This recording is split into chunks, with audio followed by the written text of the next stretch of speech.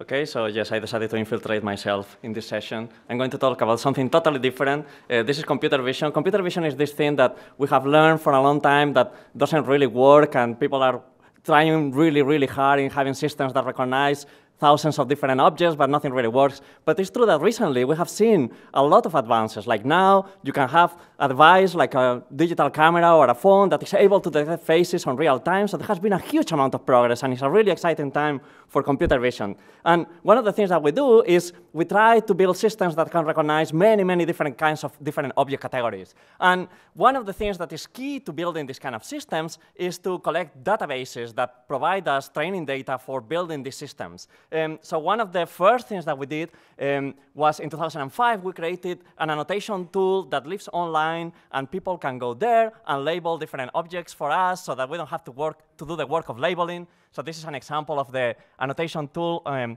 on, live. This is a, um, um, a snapshot of the tool. And this is somebody has gone there and labeled all these different things, like trees with all these different details. And this is people that get no money for doing these things. So they have a lot of free time, I guess. Um, so a few years later, we decided that you know, we were making so much progress, let's try to do everything. And we collected a huge database by going through an electronic dictionary, taking all the English words, and then going to Google and starting downloading images that corresponded to all the words that we had in that dictionary.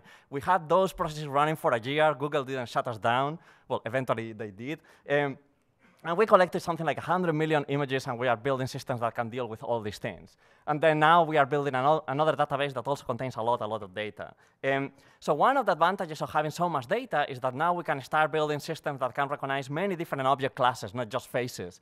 Um, so one interesting thing when you start working with so many different object classes is that you start having classes that look alike. Uh, for instance, let's say that for some reason you are interested in detecting deck chairs.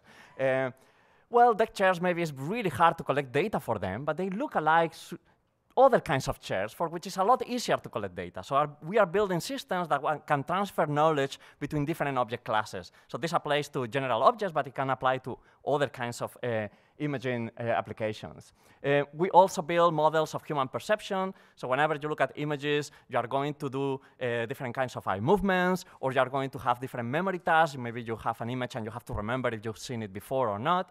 Uh, and we're building models that are able to predict if you, when you look at an image, for instance, you will remember it or not, much better than what you think you will do. So sometimes we show you an image, you think you will remember it, but you don't. But we can predict if you will do it before better than you do yourself. And then know, when we have so much data, we can build other kinds of applications that rely on the fact that, well, you don't need to solve a really complicated problem. Maybe there are so many images that you can find other images that look like your input. And then whatever you decided for the other images is going to be the same thing as for the input. And that also opens a new set of problems. So this is just a snapshot of some of the work by the computer vision group. Uh, I think there will be some more people later on, but you know, I decided to infiltrate myself in this session. So thank you.